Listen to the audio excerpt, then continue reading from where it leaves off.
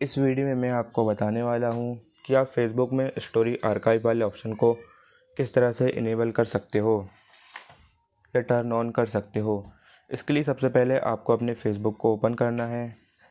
Facebook को open करने के बाद अब आपको यहाँ पे इन थ्री लाइंस पे क्लिक करना है।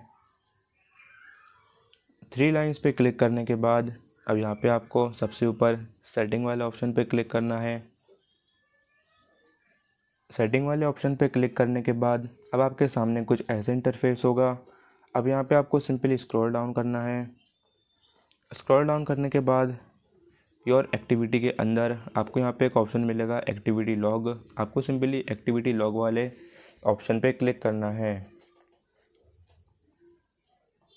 एक्टिविटी लॉग वाले ऑप्शन पे क्लिक करने के बाद अब आपके सामने कुछ ऐसे इंटरफेस होगा। अब यहाँ पे आपको सिंपली आर्काइव वाला ऑप्शन दिख रहा होगा। आर्काइव पे क्लिक करना है। आर्काइव पे क्लिक करने के बाद अब आपके सामने कुछ ऐसा इंटरफेस होगा। यहाँ पे गाइस आपको आर्काइव स्टोरी वाले ऑप्शन पे क्लिक करना है। आर्काइव स्टोरी वाले ऑप्शन पे क्लिक करने के बाद अब गाइस आपको जो है यहाँ पे सेटिंग वाला ऑप्शन दिख रहा होगा।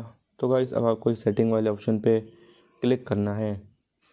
सेटिंग वाले ऑप्शन पे क्लिक करने के बाद अब गाइस अब जो है यहाँ से स्टोरी आर्काइव को जो है ऑन कर सकते हो। सो so गाइस वीडियो पसंद आए तो वीडियो को लाइक करके जाना और अगर आप हमारे चैनल पर नए हो तो हमारे चैनल को भी सब्सक्राइब कर देना।